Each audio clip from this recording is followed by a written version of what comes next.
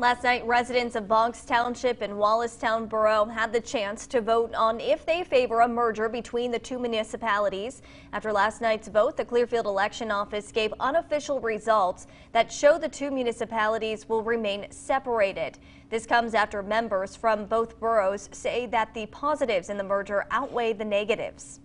That there's an expectation by the public that um, each one of the government institutions should operate more efficiently. Um, times are tough with the cost of materials and goods, um, availability of labor, etc.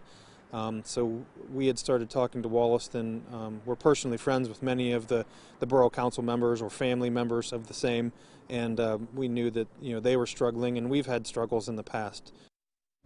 It will now be up to the municipalities to decide what the next step is going to be.